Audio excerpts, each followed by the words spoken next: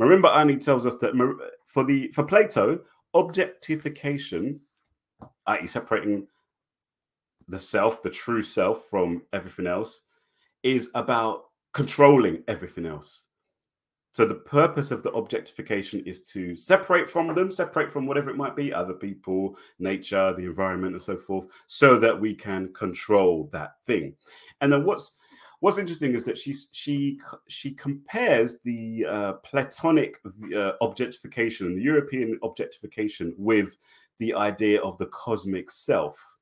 And this cosmic self idea is the idea that is very prevalent amongst most, probably most other people's philosophies. Certainly African philosophy, certainly Native American philosophy. She talks about oceanic philosophy as well. Probably you're looking at a lot of indigenous philosophies anyway. The concept of the self is not a thing that is detached from everything else. Rather, the self is intricately linked and related to and part of everything else. And the cosmic self is thus you know you you can't uh, you can't see yourself in this in these indigenous worldviews you don't see yourself as something that's separate from everything else rather you you you are everything else and you interact with everything else but for plato and others that worldview, that that cosmic self idea, is a, is an idea that leads to weakness because again, it's all about power and it's all about control for Plato and, and his uh, his successors.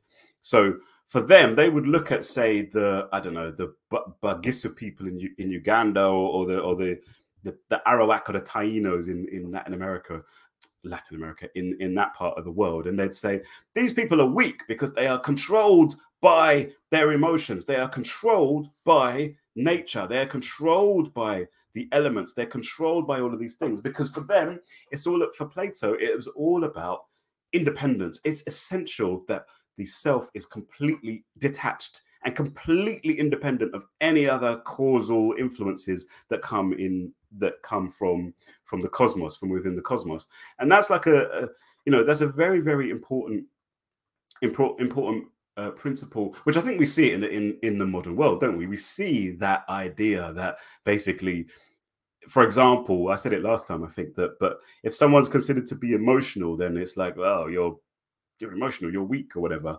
Um, similarly, they look at certain people. Anyway, let me not.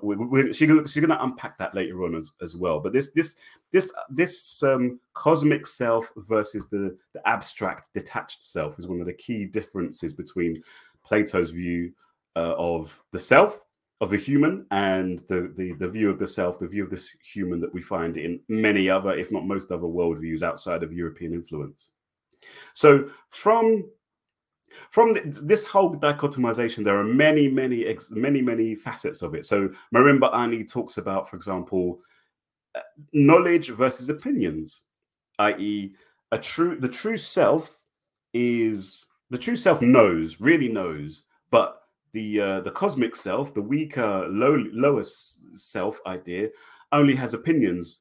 Similarly, the, the the the true self thinks, but the the the untrue self, the the cosmic self, the weak self of these other so-called primitive peoples, although we call we should call ourselves prime peoples, first peoples, original peoples.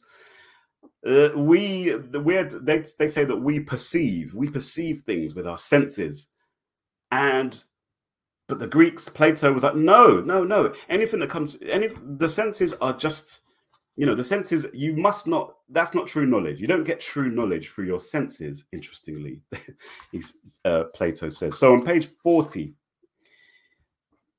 on page forty, we read this to explain this point.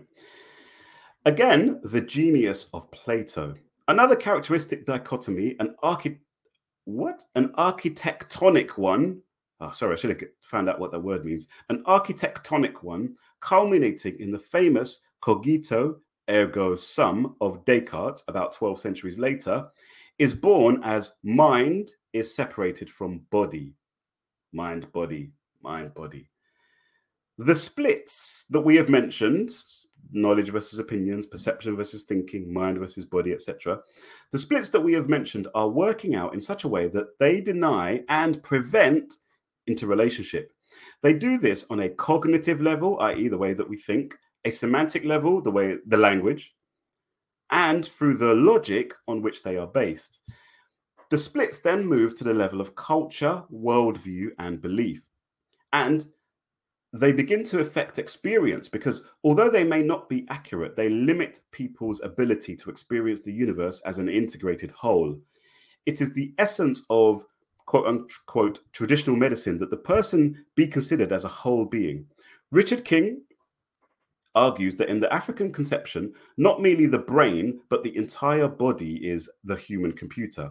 In that sense, we also think with our sense organs, which perhaps helps to explain genius on the basketball court. The whole of us thinks. So when you look at something like IQ, you know, the idea of IQ is a instrumentalization of of the Platonic and Western worldview that basically the important knowledge, the knowledge that's important to have, to to to, to perceive or whatever, the, the important knowledge comes through abstract you know is abstract knowledge only. That's the important knowledge. Every other knowledge is not important whereas actually our senses are important. It, it, that's that's is is valuable. It is valuable to be able to just to be able to move your body in a certain way. Dance is an expression of what you might call intelligence uh, song is an expression of intelligence musicality rhyme rhythm and all these kinds of that's those are all manifestations of, of, intelligence if you have a cosmic perception of the self but for Plato and the Europeans who follow him and the others who think like him,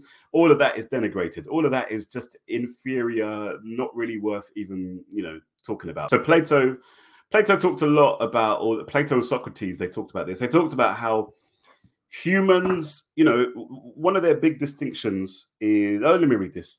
Page 43 again. Sensations, says Socrates, are given at birth.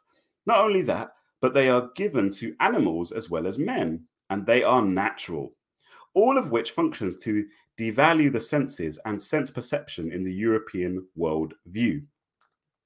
A very strong theme in European moral and political philosophy is the idea that human beings are superior to other animals and that they must protect that superiority in order to be truly human. And a point I want to make on that is that it's important. There are there are many scholars who have pointed out.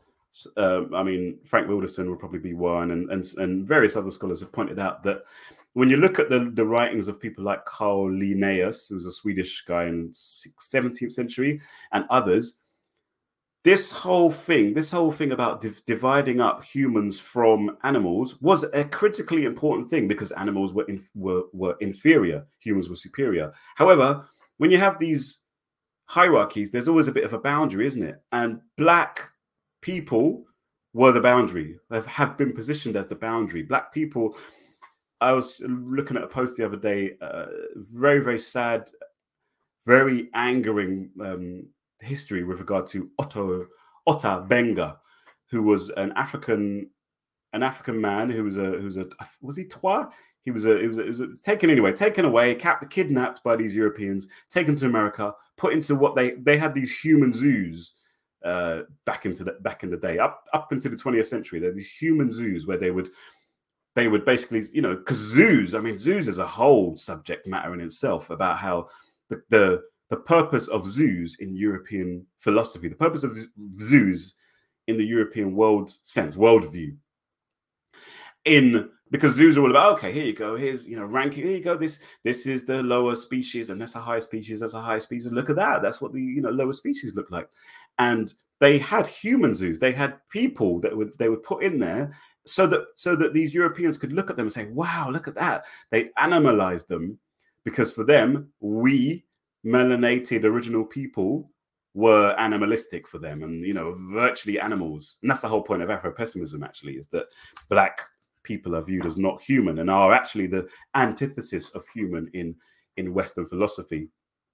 So, so yeah, you know, they, ain't, that, that's true. So, so the, the, the, distinction between humans and animals, a big part of that is the fact that the fact, quote unquote, that uh, animals, uh, you know, are sense are all about their senses, but humans shouldn't be about their senses. Humans have got something higher than senses, and then it and then it goes further down here. The senses perceptions, what is natural to the human, function only in the world of in the world of appearances, and therefore are below the line that separates adults from children in Platonic thought. Our senses can only tell us how things seem to be. True knowledge, on the other hand, relates to the real world of ideas. We are then above the line and are doing important things. Anyone can look at this is anyone can do what is natural and stumble around in the cave in darkness. Light and dark are t- uh, let me yeah, I'll stop there. Uh, so this this uh, this this concept and think about it you know search yourself search your heart and you'll probably find that you i certainly do deep down and deep down i think of intelligence as being something that no no no it's not something you're born you're not just born with this thing you, you have to cultivate it you have to work on it you have to really you know do, do all these sorts of things whereas anything that's just a you know the sensory things like oh i can just i don't know I can run fast, I can agile and whatnot. So we denigrate that say, oh no, that's just you're just given that, just like an animal is given that. That's nothing to be proud of. That's that's not important.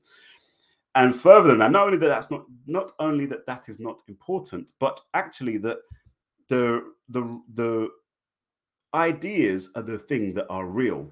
Everything else is not actually fully real in Platonic thought. And this is this is based on or one of the places where Plato really brought this out was his allegory of the cave, which you probably know about. So, this allegory of the cave was Plato's way of expressing his truth about what true truth is, what reality is. He um, he had this allegory of so you got some people who are living in a cave and they have no access to the outside world. And all they can see is a wall in the cave. Now, unbeknownst to them, there are some other people in that cave who are shining a light or a torch or whatever, and then they've got some shapes that they are making some silhouettes on the wall. And those people who are looking at the silhouettes, they think that the silhouettes are real. They think that silhouettes are what the reality is. So, like, oh, there's a shape there. Okay, that's just a thing. It's a thing. It's just a thing. They don't understand. They don't realize that no, it's not a thing really. And I mean, it's it's a derivative thing. It's it's a thing only in as far as it's a it's a manifestation of the actual real thing, which is the, the shape itself and so forth. And so for Plato, you know, enlightenment and all that sort of stuff comes by getting out of the cave and experience, you know, seeing the reality of things. And so the senses for Plato can only ever tell you about those things which are not really real. things you could see, those things are not real. The real things are the abstractions, the real things are the abstract ideas ideas have true reality. Everything else isn't actually really real. So this what this made me think of was that you know, have you heard that saying? I think it was Eleanor Roosevelt is said to have said this saying, which is something like great people discuss ideas, uh, uh, average people discuss events, and something like uh, was it weak people or something? I don't know. Discuss people. And the you know, I used to I used to be, yeah, it's so true, yeah. Because discussing people is just like that's just gossip, and it's just not, you know, it's not important. It's better to discuss ideas, abstract ideas. You know, we that's that's the import behind that sort of saying. But and it's actually a perfect explanation or a perfect manifestation of this Platonic idea about what true reality is. You know, so then Marimba Ani asks, why was it important to she says on page bottom of 40 page 43 going into page 44 she says but why was it so important to, de- to debase the senses in this way? Why did plato so persistently and unrelentingly drive home the, def- the, the definition and confines of this epistemological mode? It was an epistemology that implied a social ethical and even political theory. Plato's epistemology did indeed eventually become the foundation for a form of social organization that would facilitate domination of the many by the few. It helped to create a worldview. The epistemology took on ideological implications in Plato's presentation and his commitment to his assumptions. His dialogues were ammunition for the proselytizers, proselytizers who would follow until the assumptions of his epistemology became the assumptions of a cultural tradition. These epistemological assumptions translated into an ideological statement in the civilization that would claim them as tradition. The point being that, uh, and this point comes through over and over again in this chapter. Remember, Ani is pointing out that don't consider these things to just be abstract waffling on for the sake of waffling on. They had, Plato had a very clear uh, image, a view of a society that you wanted to, to create. The Republic, Plato's Republic, is one of his texts. And this republic was supposed to be a state that was dominated by a few enlightened people who would dominate everybody else. So all of this denigration and so forth is is is is in support of that, and in support of elitism, actually, in support of the idea that there are only a few people who should rule over the many. That's what that's all about. All of this is basically all about justifying that uh, that that approach to human society, bringing it into the political, socio-political realm. It makes me, it helps me to understand why in uh, many, perhaps most, but certainly many African traditional societies prior to colonialism, you did not have a state. You did not have uh, these kind of strict hierarchies of control, and even in societies that did have hierarchies, such as the such as the Yoruba, as we discussed. Uh, the hierarchies, the control, the power of the leaders, the power of the, those who had the power was very, very, very context, contextual and very, very limited, very controlled. You know, there's no absolutism that you have in, you know, states and other parts of the world. And why is that? Probably because of our worldview, probably because of our, of our sense of the cosmic self and our complementarity and all, all these kinds of things that it just wouldn't the idea of a sort of strict hierarchy and a strict hierarchical state would just would find it very difficult to emerge in our cultural contexts. Whereas in a context in Europe where the ideas of Plato and so forth gradually became more and more and more dominant it makes of course perfect sense because they're following Plato's blueprint which is which was all about elite control of the of everybody else.